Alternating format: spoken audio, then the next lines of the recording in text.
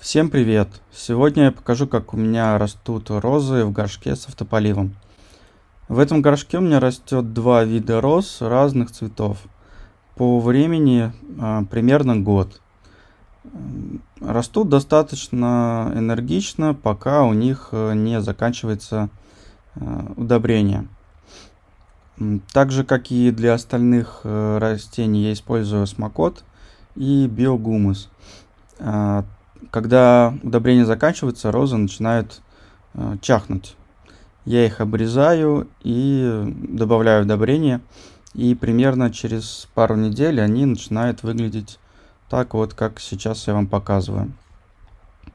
Объем данного горшка примерно э, литр. Плюс э, помещается достаточно большое количество воды э, в поддон, э, где-то литр полтора. Поэтому хватает достаточно надолго. Хотя, когда э, розы вырастают до подобного размера, расход у них достаточно высокий. Где-то за неделю они расходуют целиком э, всю воду.